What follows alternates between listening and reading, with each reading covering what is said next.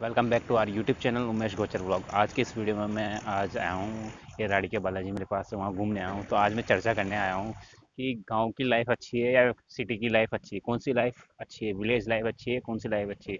तो मैं इस पर अपने विचार प्रकट करके आपको बताना चाहता हूँ कि कौन सी लाइफ अच्छी है। तो अभी तो मैं प्रॉपरली कोटा में रह रहा हूँ, जो कि सिटी है। और मैं बिलोंग करता हूँ, अंता के पास गाँव है हमारा, वहाँ से बिलोंग करता हूँ। तो मैं आपको बताना चाहता हूँ कि जो गाँव की लाइफ है, उसमें आदमी कम खाकर, कम खर्चे में भी जी सकता है। सिटी की लाइफ में थोड़ा एक्सपेंसिव है लाइफ उसको कमाना पड़ता है। गाँव में कम खर्चे में भी खर्चा चला सकता है आदमी। फ़र्स्ट अंतर तो ये है गाँव की और शहर की लाइफ में। दूसरा अंतर ये है कि गाँव सिटी में इंसान को अपने आप इंट्रोवर्ट रहना पड़ता है, अपने आप से मतलब रखना पड़ता है। ज़्यादा लोगों से मेल जोल नहीं रखता। गाँव में लोग सभी से मिलता है और अच्छे से मिल के मिल के रहता है।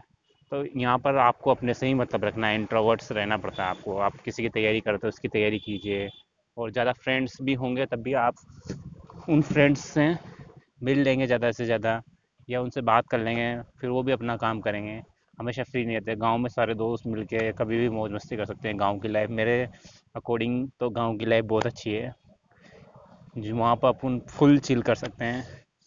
और गाँव में एक्सपेंसेस भी कम हैं। आप कम खर्चे में जी सकते हैं, अच्छे से। और गाँव में आप कमाना चाहे तो ज़्यादा पैसा भी कमा सकते हैं अच्छा काम कर कर। पर गाँव की लाइफ मेरे हिसाब से अच्छी है।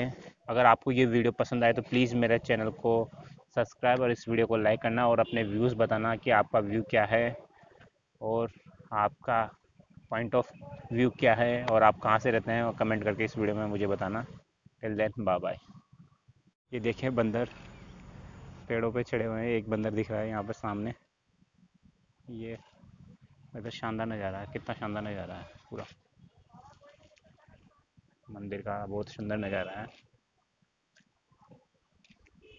ये देखिए, कितनी हरियाली है मंदिर के यहाँ पर।